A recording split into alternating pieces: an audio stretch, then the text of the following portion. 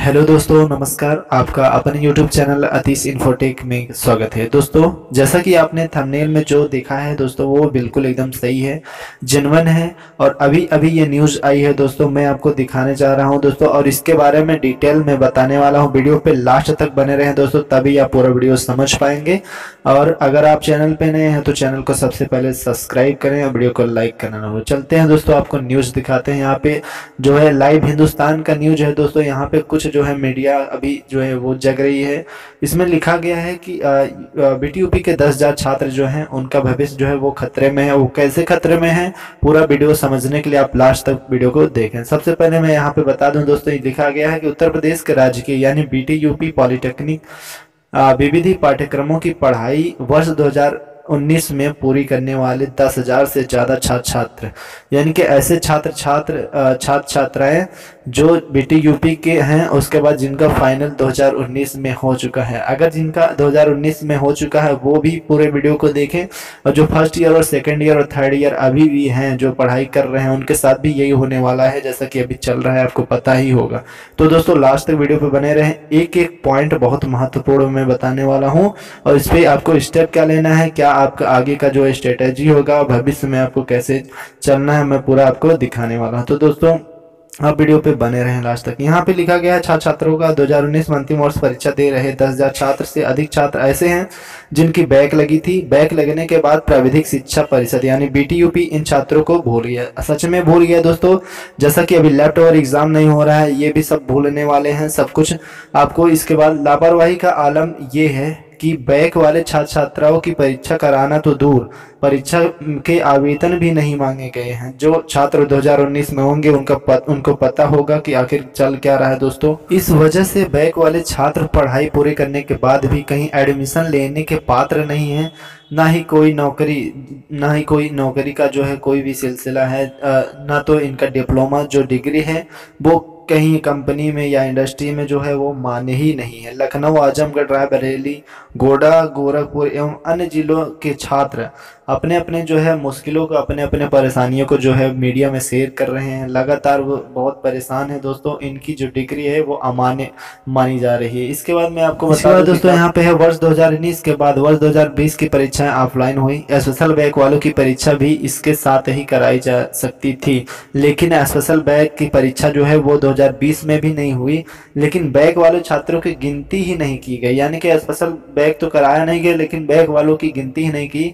परिषद परिषद की, यानी बीटीयूपी की उदासीनता की वजह से छात्रों की पढ़ाई जो है रुक गई और परिषद के चक्कर लगा, लगाने के बाद भी इन छात्रों की समस्या का समाधान नहीं हुआ। जानकारी के अनुसार परीक्षा फल समिति की बैठक में इन छात्रों का मुद्दा भी नहीं रखा गया था। यानी कि जो बैठक हुई थी परीक्षा फल पर यानी कि जो हमारा रिज़ल्ट का बैठक हुई थी, इनका मुद्दा भी नहीं रखा गया था। बिना परीक्षा फल समिति की संस्कृति संतुष्टि के कोई निर्णय नहीं लिया जा सकता है।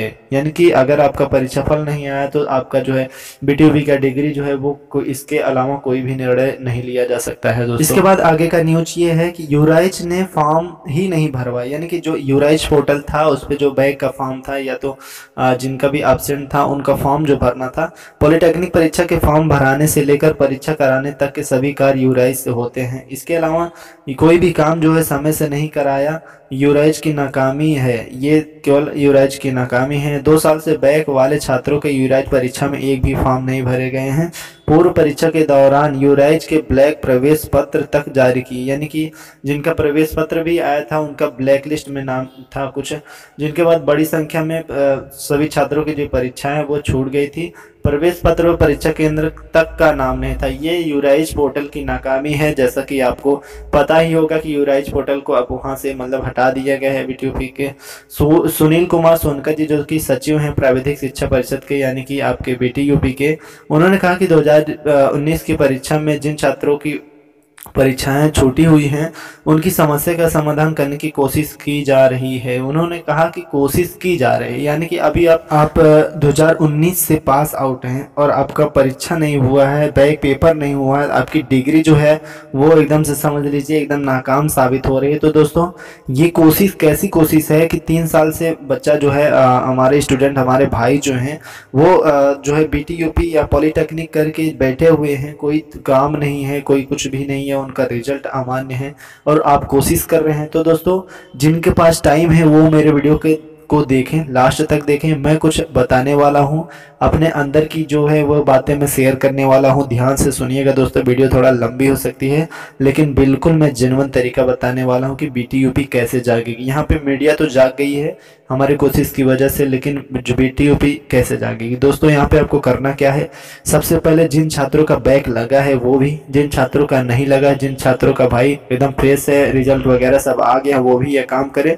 जा करके बी के जो ऑफिशियल ट्विटर है एट द रेट बी आप लिख करके टैग करके वहाँ पे टोटल ये आप लिखिए कि बी टी एग्ज़ाम कराएँ बी टी एग्ज़ाम कराओ यानी बैक पेपर कराओ लैपटॉप एग्ज़ाम कराओ। तो दोस्तों जग जाएगी बी ये मेरा तो यार अगर इस चैनल पे नए हो तो चैनल को सब्सक्राइब करिए। बिल्कुल मैं हंड्रेड परसेंट आप सबका सपोर्ट करूँगा और ऐसे ही वीडियोज़ बनाता रहूँगा दोस्तों।